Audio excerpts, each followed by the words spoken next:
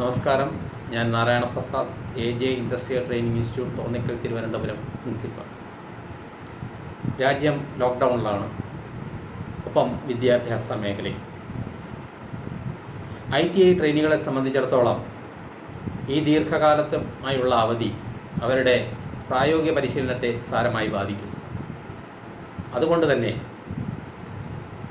സുരക്ഷിതമായി വീട്ടിലിരിക്കുന്ന ഈ പരിമിതിക്കുള്ളിൽ ഓൺലൈനിലൂടെയോ വീഡിയോകളിലൂടെയോ അവർക്ക് ഉപകാരപ്രദമായ എന്തെങ്കിലും നൽകുവാൻ കഴിയുമെങ്കിൽ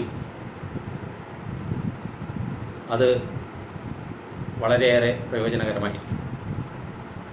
ഈ ചെറിയ വീഡിയോയിലൂടെ ഞാൻ ഉദ്ദേശിക്കുന്നത് ഹൗസ് വയറിംഗ് അഥവാ ഡൊമസ്റ്റിക് വയറിങ്ങിൽ അത്യാവശ്യം ഉപയോഗിക്കുന്ന അക്സസറികളെക്കുറിച്ച് ഒരു പരിചയപ്പെടുത്തലാണ്. ഇലക്ട്രിക് പോസ്റ്റിൽ നിന്ന് നമ്മുടെ മെയിൻ ബോർഡിലേക്ക് അല്ലെങ്കിൽ മീറ്റർ ബോർഡിലേക്ക് വരുന്ന വൈദ്യുതി ന്യൂട്രൽ ഫേസ് രണ്ട് വയറുകൾ. ഒരു ചുവന്ന വയർ ഒരു കറുത്ത വയറുമാണ് സാധാരണയായി ഉപയോഗിക്കുന്നത്. ഫേസ് ചുവന്ന വയറും ന്യൂട്രൽ കറുത്ത വയറും. ഇത് എനർജി മീറ്ററിലേക്ക് നേരിട്ടെത്തും.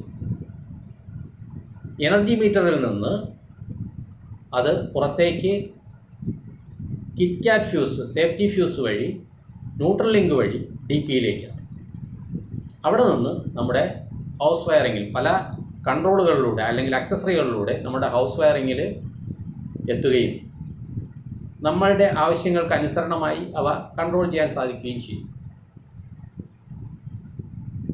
ഈ സംവിധാനത്തിൽ ഉപയോഗിക്കുന്ന അത്യാവശ്യം ചില ആക്സസറീസുകളാണ് ഞാനിവിടെ പരിചയപ്പെടുന്നത്.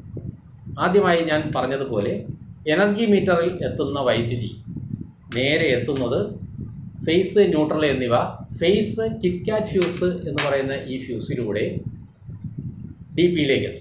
കിറ്റ്കാറ്റ് ഫ്യൂസ് ഇതിന്റെ പേര് കിറ്റ്കാറ്റ് ഫ്യൂസ് ഈ ഫ്യൂസ് ഉപയോഗിക്കുന്നത് എന്തിനാണെന്ന് അറിയാമല്ലോ? നമുക്ക് സേഫ്റ്റിക്ക് വേണ്ടിയാണ്. അതായത് സർക്യൂട്ടിന്റെ സേഫ്റ്റിക്ക് വേണ്ടിയാണ്. എക്സസ് കറണ്ട് വരികയോ അല്ലെങ്കിൽ ഷോർട്ട് സർക്യൂട്ട് ഉണ്ടാവുകയോ ചെയ്താൽ സർക്യൂട്ട് ബ്രേക്ക് ആവുന്നതിന് വേണ്ടിയാണ് നമ്മൾ ഫ്യൂസ് ഉപയോഗിക്കുന്നത്. ഇത് കിറ്റ്കാറ്റ് ഫ്യൂസ് ഇതിൽ ഫേസ് നേരെ നമ്മുടെ ഡി പിയിലേക്ക് എത്തും. അഥവാ മെയിൻ സ്വിച്ചിലേക്ക് എത്തും. അത് കഴിഞ്ഞ് ന്യൂട്രൽ ന്യൂട്രൽ ന്യൂട്രൽ ലിങ്കിലൂടെ കണക്ട് ചെയ്ത് എനർജി മീറ്ററിൽ നിന്നുള്ള ന്യൂട്രൽ ന്യൂട്രൽ ലിങ്കിലൂടെ കണക്ട് ചെയ്ത് നേരെ ഡി പിയിലേക്ക് എത്തും. ഇനി നമുക്ക് ഡി പിയെ നോക്കാം.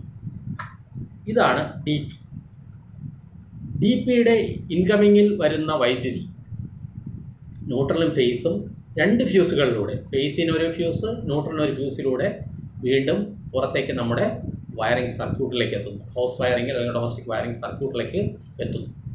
ഇത് മെയിൻ സ്വിച്ച് അഥവാ ഡി പി അഥവാ I C D P I C D P എന്ന് പറഞ്ഞാൽ അയൺ ക്ലാഡ് ഡബിൾ പോ എന്നാണ് അതിന്റെ എക്സ്പാൻഷൻ അയൺ ക്ലാഡ് ഡബിൾ പോ അല്ലെങ്കിൽ മെയിൻ സ്വിച്ച് എന്ന് നമ്മൾ പറയും. ഈ സ്വിച്ച് ഒരു പ്രത്യേകത എന്ന് പറഞ്ഞു കഴിഞ്ഞാൽ അറ്റ് എ ടൈമിൽ തന്നെ നമുക്ക് ന്യൂട്രലും ഫേസും ഓഫാക്കാനും ഓൺ ആക്കാനും സാധിക്കും.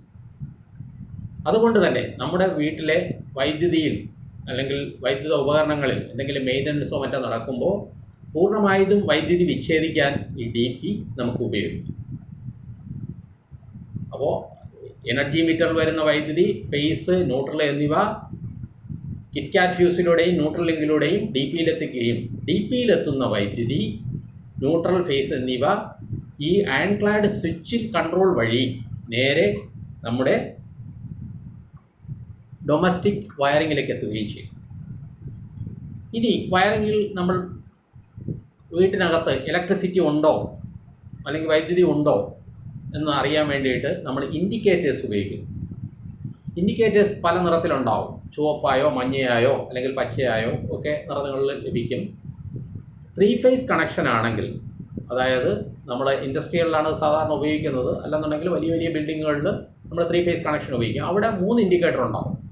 R Y B red yellow blue എന്നാൽ ഹൗസ് വയറിങ് സാധാരണ ഡൊമസ്റ്റിക് വയറിങ്ങിൽ ചെറിയ വയറിങ്ങുകളിൽ ഹൗസ് വയറിങ്ങുകളിലെല്ലാം നമ്മൾ സിംഗിൾ ഫേസ് ആണ് ഉപയോഗിക്കുന്നത്. അവിടെ ഒരു ഒറ്റ ഇൻഡിക്കേറ്റർ മാത്രമേ ഉണ്ടാവുകയുള്ളൂ ഇപ്പോൾ ഉപയോഗിച്ച് വരുന്നതല്ല എൽ ഇ ഡി ഇൻഡിക്കേറ്ററാണ് മുൻകാലങ്ങളിൽ നിയോൺ ഇൻഡിക്കേറ്റർ ഉപയോഗിച്ചു നിയോൺ ബൾബ് ഉപയോഗിച്ചുള്ള ഇൻഡിക്കേറ്റേഴ്സ് ഉപയോഗിച്ചിരുന്നു ഇപ്പോൾ എൽ ഇ ഡി ഇൻഡിക്കേറ്റേഴ്സാണ് നമ്മൾ ഉപയോഗിക്കുന്നത്. ഈ എൽ ഇ ഡി ഡയറക്റ്റ് നമുക്ക് എ സിയിലേക്ക് കൊടുക്കാൻ പറ്റില്ല. അതുകൊണ്ട് തന്നെ ഇതിനുള്ളിൽ തന്നെ റെസിസ്റ്റൻസ് ഉപയോഗിച്ച് ഇതിന്റെ വൈദ്യുതിയെ ക്രമീകരിച്ച് എൽ ഇ ഡിയിലേക്ക് കടത്തിവിട്ടാണ് ഈ ഇൻഡിക്കേറ്റർ പ്രകാശിപ്പിക്കുന്നത്. ഇനി നമ്മുടെ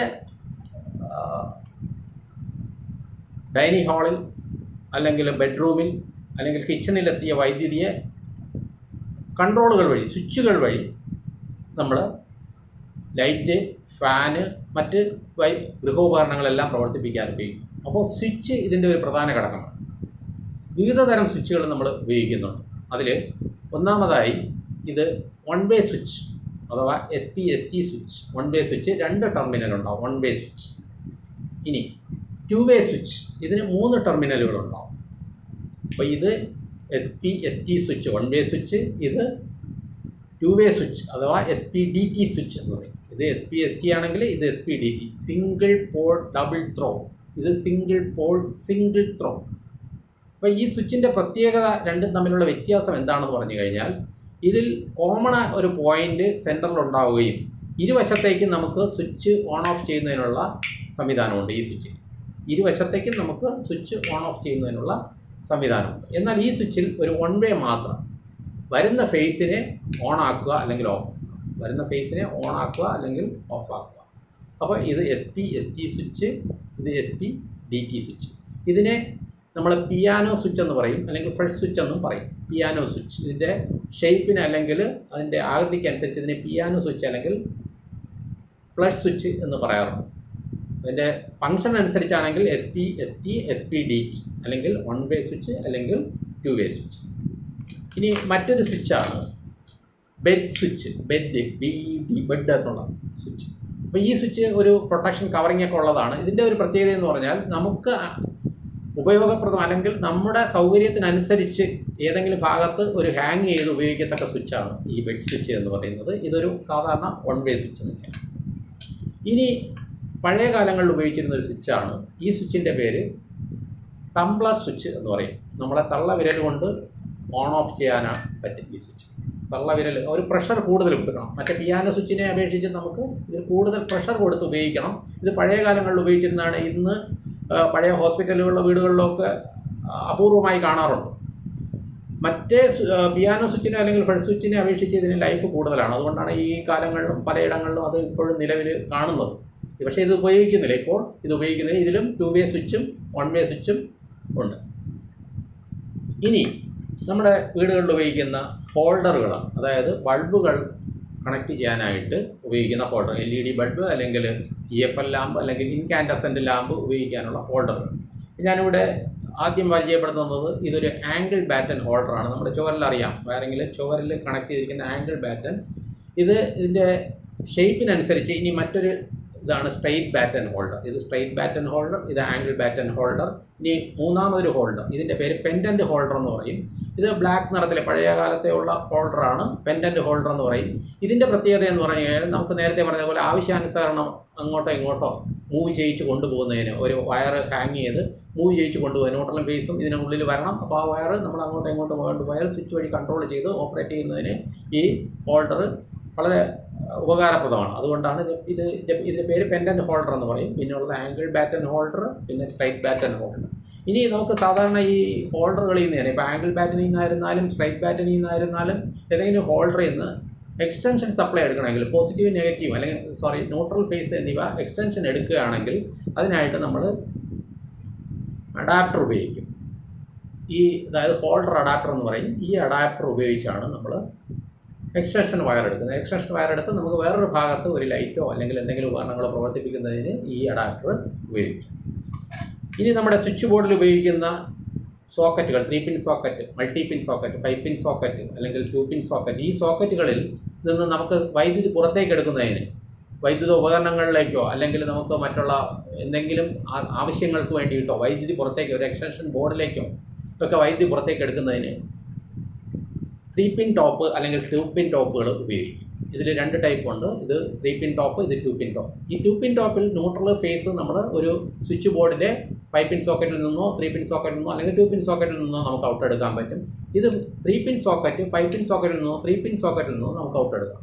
ഇതിന്റെ ഒരു പ്രത്യേകത എന്ന് പറഞ്ഞാൽ ന്യൂട്രൽ ഫേസ് കൂടാതെ എർത്ത് എന്ന് പറയുന്ന ഒരു കോണ്ടാക്റ്റ് കൂടി ഇതിനകത്തുണ്ട് അതായത് ഒന്നാമത്തെ പിന്ന് ന്യൂട്രൽ ഫേസ് ഒപ്പം എർത്ത് എർത്തിന്റെ ആവശ്യകത എന്ന് പറഞ്ഞാൽ പവർ കൂടി എക്യുപ്മെന്റ്സ് നമ്മൾ ഉപയോഗിക്കുമ്പോൾ അല്ലെങ്കിൽ പ്രൊട്ടക്ഷൻ വേണ്ട എക്യുപ്മെന്റ്സ് ഉപയോഗിക്കുമ്പോൾ അതിൽ എർത്തിന്റെ ഒരു പ്രൊഷൻ കൂടെ കാണും. ആ പ്രൊഷൻ നമ്മൾ ഉപയോഗിക്കുമ്പോൾ എർത്ത് കമ്പൽസറിയാണ് അപ്പോൾ അതിന് വേണ്ടിയിട്ട് ത്രീ പിൻ ടോപ്പുകൾ ഉപയോഗിക്കും. ഇനി മറ്റൊന്ന് കണക്റ്റേഴ്സ് ഈ കണക്റ്റേഴ്സ് സാധാരണ ഉപയോഗിക്കുന്നത് ഇൻഡസ്ട്രികളിലാണ് കൂടുതൽ ഉപയോഗിക്കുന്നത്. ഹൗസ് വയറിങ്ങിൽ ഉപയോഗിക്കുന്നുണ്ട്. അപ്പോൾ നമ്മുടെ ഉപയോഗിക്കുന്ന കറണ്ടിന് അനുസരിച്ച് അല്ലെങ്കിൽ ഉപയോഗിക്കുന്ന വൈദ്യുതിയുടെ ഉപയോഗത്തിനനുസരിച്ച് ഇതിന്റെ സൈസിൽ വ്യത്യാസം ഈ കണക്ടറുകൾ ഫൈവ് ആംബിയർ ഉണ്ട് സിക്സ്റ്റീൻ ആംബിയർ ഉണ്ട് തേർട്ടി ടു ആംബിയർ ഉണ്ട്. സിക്സ്റ്റി ആംബിയർ ഉണ്ട്. അപ്പോൾ അതനുസരിച്ച് ഇതിന്റെ സൈസിൽ വ്യത്യാസം വരും. ന്യൂട്രലും ഫേസും രണ്ട് വയറുകൾ തമ്മിൽ ന്യൂട്രലും ഫേസിലും വന്നതിന് ശേഷം രണ്ട് വയറുകൾ തമ്മിൽ യോജിപ്പിക്കുന്നതിന് നമ്മളിപ്പോൾ ഇൻസുലേഷൻ ടൈപ്പ് ടൈപ്പൊക്കെ ഉപയോഗിക്കുന്നതിന് പകരം കണക്റ്റേഴ്സ് നമുക്ക് ഉപയോഗിക്കാം. ഇത് കുറച്ചുകൂടെ സേഫാണ് മാത്രമല്ല നമുക്ക് അത്യാവശ്യത്തിന് ഇത് ഡിറ്റാച്ച് ചെയ്യാൻ അതായത് കണക്ഷൻസ് ഡിറ്റാച്ച് ചെയ്യാനും അതുപോലെ തന്നെ വേറെ കണക്ഷൻസ് അറ്റാച്ച് ചെയ്യാനും ഈ കണക്ടറുകൾ നമുക്ക് വളരെയേറെ പ്രയോജനപ്രദമാണ്. അപ്പോൾ അത്യാവശ്യം നിലവിലുള്ള കുറച്ച് അക്സസറീസുകളാണ് ഞാൻ പരിചയപ്പെടുത്തിയത്. ഇത് ഈ വീഡിയോ പ്രയോജനകരമായിരിക്കുമെന്ന് ഞാൻ കരുതുന്നു. അടുത്ത കുറച്ച് എക്യുപ്മെൻസുകളും അല്ലെങ്കിൽ അക്സസറീസുകളുമായി മറ്റൊരു വീഡിയോ ചെയ്യുന്നതായിരിക്കും. തൽക്കാലം വിടാം നന്ദി നമസ്കാരം.